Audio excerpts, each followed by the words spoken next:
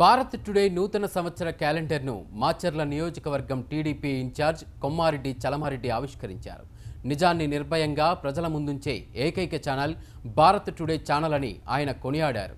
Bharat today యాజమాన్యానికి సిబ్బందికి ప్రజలకు ఆయన శుభాకాంక్షలు తెలిపారు.